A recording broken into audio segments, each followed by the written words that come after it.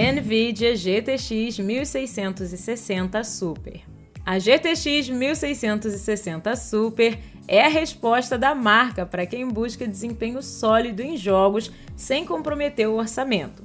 Essa placa de vídeo conquistou seu lugar como uma das melhores opções acessíveis no mercado, e o motivo é claro: ela oferece um desempenho notável em resolução 1080p sem quebrar o banco.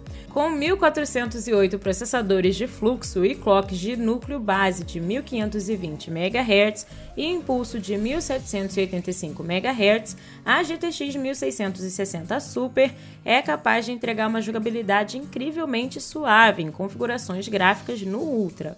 Mesmo em resoluções mais altas, como 1440p, ela mantém uma performance sólida, proporcionando uma experiência de jogo bem imersiva. No entanto, vale notar que a GTX 1660 Super não é uma placa para os entusiastas de Ray Tracing.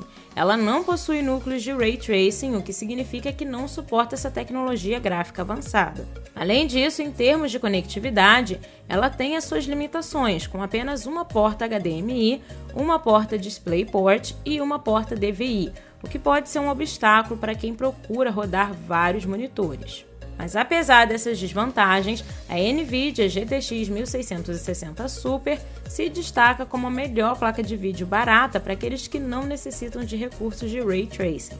Com um preço acessível e um desempenho excepcional em 1080 pixels, ela é uma escolha sólida para gamers que buscam qualidade sem gastar muito por isso.